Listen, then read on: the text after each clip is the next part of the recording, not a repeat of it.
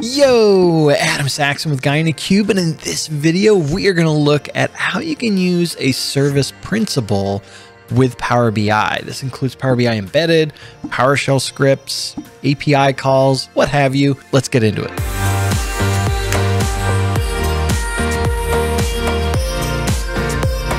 If you're finding us for the first time, be sure to hit that subscribe button to stay up to date with all the videos from both Patrick and myself. All right, service principal. Why do we care about this? If you're using Power BI embedded, or maybe if you're doing certain items that you want to automate or things of that nature, you don't necessarily want to use a user account, an actual user account in Azure Active Directory. To do that, you want to use a service principal or a managed like service account of some kind. There are some steps you have to follow to be able to do this. So I just want to walk through how you can get this set up with Power BI to use it if you're going to embed or do things like call PowerShell commandlets or things of that nature with a service principal.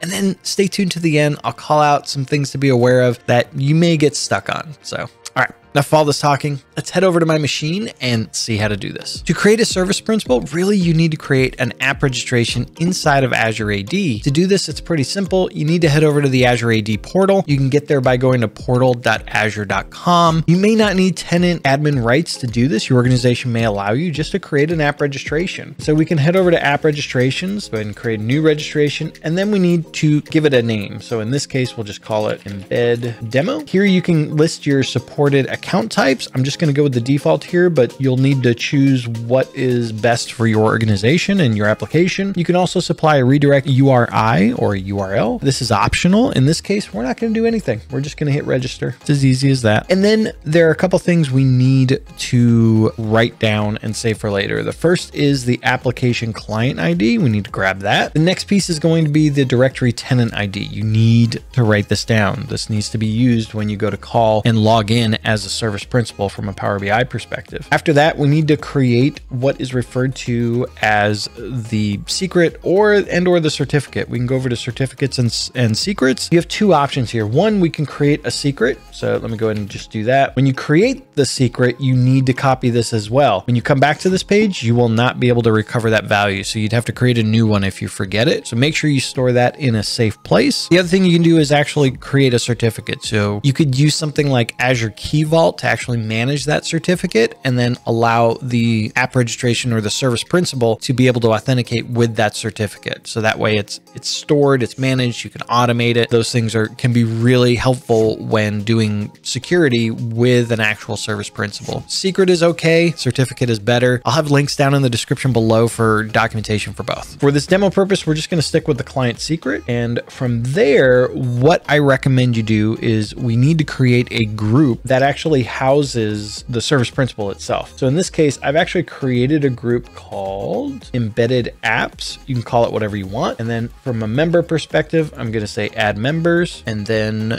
embed, and we'll see our embed demo. And this should be reflective of that application client ID that you selected. So for a normal user, you'll see what looks like an email address. For an application registration or a service principal, you'll see a GUID or GUID, however you want to call it. I call it a GUID. Select that, add it to the group. Good to go from the Azure AD perspective. Next, we need to head over to Power BI. In Power BI, there are a couple things that your Power BI admin is going to have to do. So first thing we're going to do is head over to the admin portal. Under tenant settings, we're going to come all the way down to developer options or developer settings. And there's going to be an allow service principals to use the Power BI APIs. By default, this may be disabled, so this has to be enabled. I recommend specifying a security group and adding that security group that you added the app registration to. So this means that that service principal will be able to use the Power BI APIs. I don't recommend enabling it for the entire organization because that's just not secure.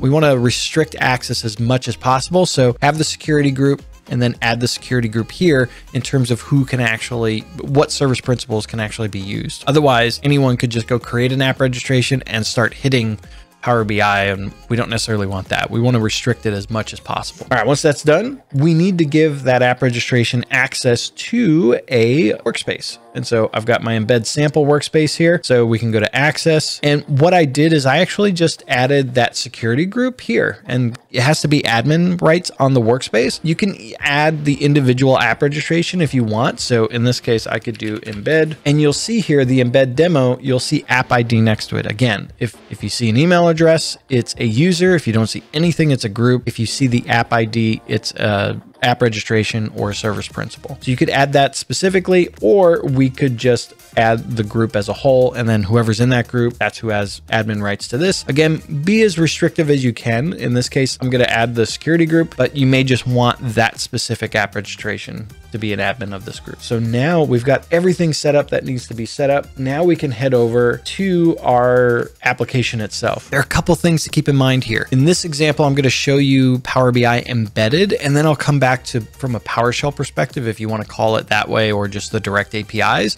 So let's look at the Power BI embed sample that's out there. Again, I'll have links in the description below for the actual GitHub repo where you can go get this sample. So I'm just opened up the .NET framework piece of this and I've got the web.config open. A couple things we're going to see here. One, we're going to see the authentication type, which I've listed as service principal. So that means for this application, I'm going to use a service principal account, not what's referred to as the master user account or an actual user account from Azure AD. I want to use a service principal. The other thing I need to do is add the application ID. Remember, we copied this down. Let me go ahead and add that in. You'll need to list off your workspace ID and report ID. Uh, report ID is optional, but you'll need the workspace ID at least least for this sample. All right. And then we'll come down here. If you're using master user, you'll add that username and password. Please don't add passwords to the actual config file. Have it in a secure location. Application secret, kind of the same thing here. For purposes of this demo, I'm just going to copy and paste it in. But again, you want to keep these things secure. Tenant ID, I made sure that you copied this as well. I said we were going to need it. So we've got to list that there. We're going to save that. And now everything's set up from this application perspective. So if we just run it, we should see our embedded report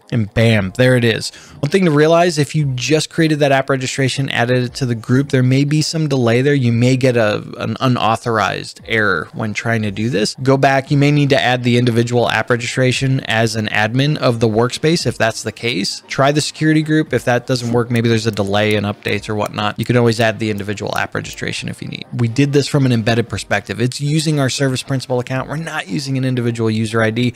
Let's look at PowerShell. So I'm going to come over and one thing I can do here is actually connect with a service account as part of the PowerShell commandlets. Again, link into the description below for a link to the PowerShell documentation. So in this case, let me go and grab, all right, we need to add a couple things here. We've got service principal, so we're saying we're logging in with the service principal, then we're going to get the credential, and I'll show that in a second. And then we need to add that tenant ID again. Again, anytime we're logging in with a service principal, we have to add the tenant ID. Then we get a prompt for a username and password. This username and password is going to be the client ID or application ID, which is that GUID. And then we need the secret as the password. And then we're logged in as that service principal. From there, we can just call one of the PowerShell commandlets and it'll list out like this is just these are the workspaces that that service principal has access to. Some things to be aware of here. You can log in with a certificate from the PowerShell commandlets. In the documentation, it shows you how to do that. Also, you can automate and script those items too from a PowerShell perspective. So you don't have to do the interactive login, which could be not great for when you're trying to automate things. So there is a possibility of doing that. One thing to be aware of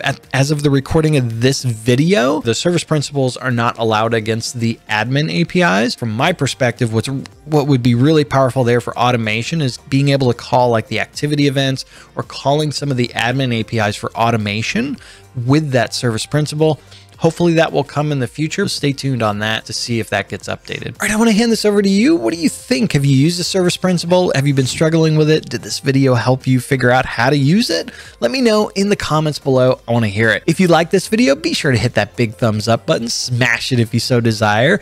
If it's your first time here, hit that subscribe button and as always, from both Patrick and myself, thank you so much for watching. Keep being awesome, and we'll see you in the next video.